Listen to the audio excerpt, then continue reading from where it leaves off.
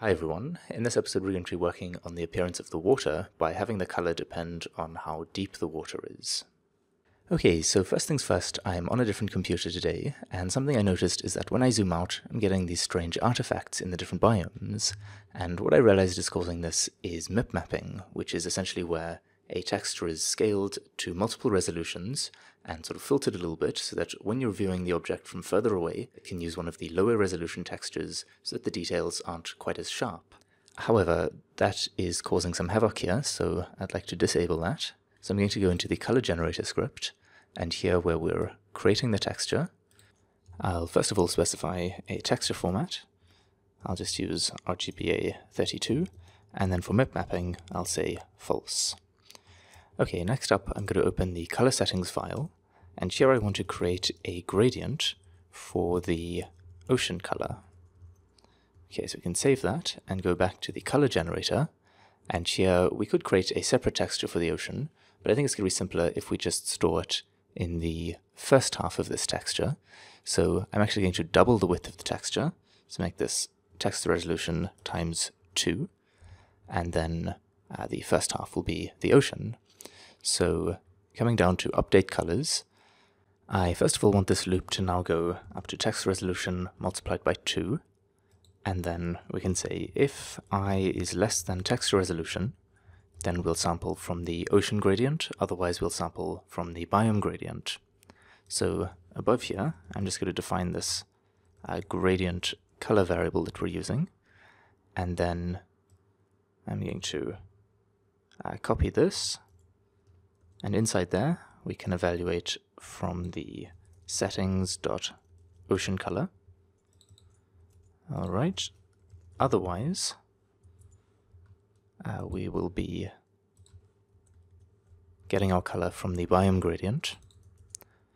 Now, this inside here should be a value between 0 and 1, but in this case i is starting at a value of text resolution, so we should subtract text resolution from there just like so. Okay, so now as you may recall, in our shader we're reading from the texture based on the elevation of the vertices, but this is slightly problematic when it comes to the ocean because we're clamping the vertices there to a minimum height so that we get this nice smooth surface, which means that we don't actually have any depth information for the shader to use to determine the color by. So uh, what we're going to do instead is store that information in the mesh UVs. Let's start by going to our noise filters, like the rigid noise filter and the simple noise filter. I'm going to open that up, and I want this to no longer clamp the value to be zero or above, because we want to uh, know how deep the ocean goes. So I'll remove that there, and I'll also open up the simple noise filter and remove that clamp there. All right. And then let's go into the shape generator. And we're going to change this calculate point on planet method a little bit. First of all, I'll change the name to calculate unscaled elevation. And this is now going to return a float. And so we won't multiply it by the point on unit sphere. And I'm also not going to scale it by the planet radius. Then we can have a separate method, also returning a float. I'll call this get scaled elevation. This takes in a float for the unscaled elevation. And here, I first of all want to clamp the unscaled elevation to be uh, equal or greater than 0. So I'll say mathf.max between 0 and the unscaled elevation. And then we can scale this by the planet radius by saying elevation is equal to settings.planetradius multiplied by 1 plus the elevation and then we can just return that value.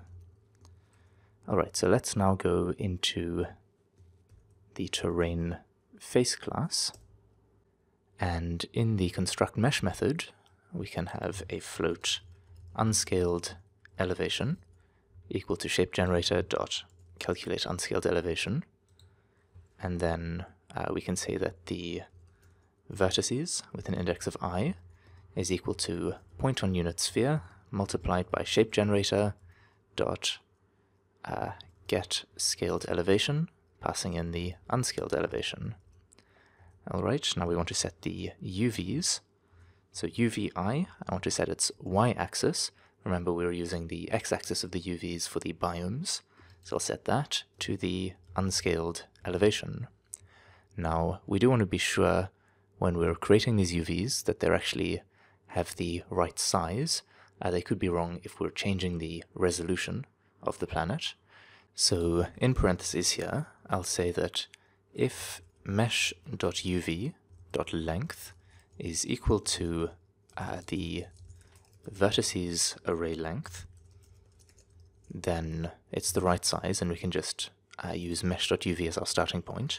Otherwise, we want to set it to a new vector2 array that has the length of the vertices array. Alright, now the other thing we need to be careful of is coming down to this update UVs method.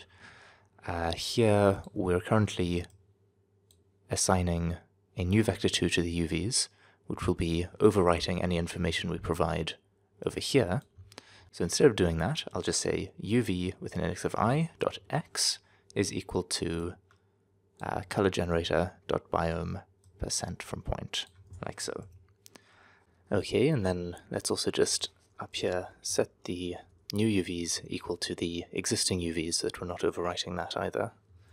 Okay, I'll save that and go into Unity, and I'm going to just regenerate the planet quickly, and then uh, you can see it's all messed up at the moment because we need to update the shader, but I'm going to quickly go onto the ocean color gradient here, and just set this to a nice dark blue uh, at the base, coming up to a light blue along the shore, uh, just something like that. Alright, and then I'll open up the planet shader. So as I was saying earlier, we're currently using the uh, positions of the vertices to ultimately sample from the texture, but we now instead want to use the elevation data stored in the UV channel.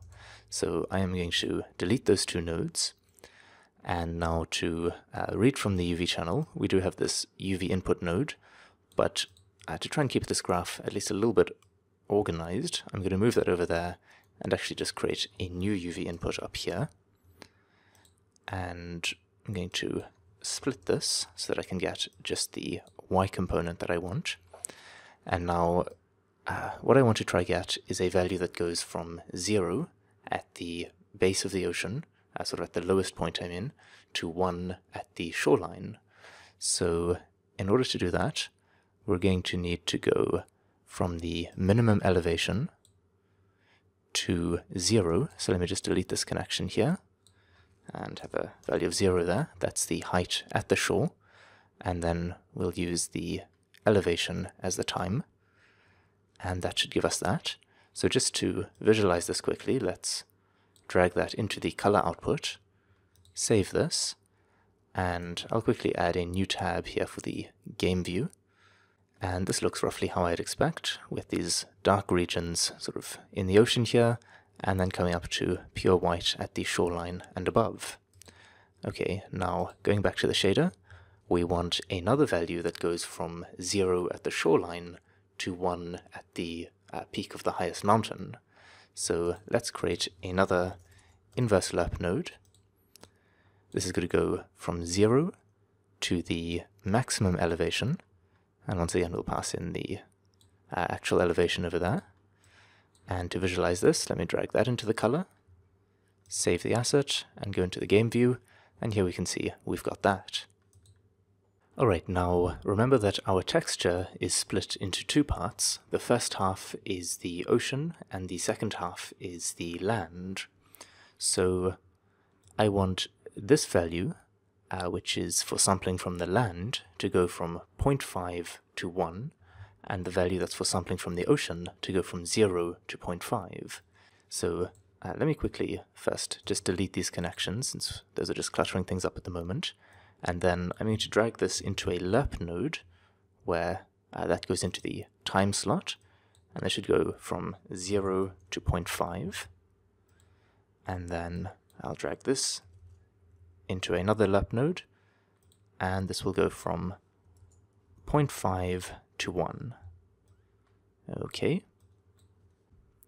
Now, I ultimately want to add these two together, like so, and then drag this into the uh, X component of the UV that will be sampling the texture, but I want this to have a weight of 0 if we're currently above the shoreline, in which case this should have a weight of 1, or if we're below the shoreline then this should have a weight of 1, and this should have a weight of 0. So the way we could do that is by taking this value here and flooring it, which is to say rounding it down. And now if I just drag this into the color output and save this, you'll see that what we get is uh, black, or a value of 0 in the oceans, and white, or a value of 1 in all the land regions. So we can take this and do a multiplication with this value here. Pass that into the add there. And then we'll take 1 minus this value and use that to do a multiplication with this. Pass that in there. And this is getting a little scruffy, so let me just tidy this up. And now I will uh, drag the color from the texture into the output node there and try saving this. Go into the game and here you can see we've got the gradient for our ocean and also the gradient for the land. Alright, now the last thing I'd like to do this episode is just allow the water to reflect the sun a little bit more. And we can do this by increasing the smoothness of the master output here but I don't want that to affect the land. So uh, we have this node here, which if we just look at the output of this quickly, this is giving us a value of 1 for the ocean, so we can use that as a mask. So let's go back onto the shader, and I'm going to add a vector1 property here, which I'll call the smoothness, and then I'm just going to do a multiplication uh, with this mask value here and the smoothness property. And then I'll pass that into the smoothness of the output here. And let me just put this back. Alright, so we can now save that, go uh, into Unity, so let me close that, and on the planet material, we now have the smoothness property, and you can see if we increase that, the water is now reflecting the sun, but over the land uh, it has no effect. Alright, I'm just quickly going to play with my water gradient a little bit, so I'll go into the planet, and I'll just speed this up as I fiddle with the ocean color for a minute, but I think that's looking kind of nice. The one thing that I still need to do is go onto the uh, biomes here, and just remove the ocean color from each of these gradients. So I'll delete that there, go into this one, delete that, and uh, this last one as well. Alright, that is everything for this episode, so until next time, cheers.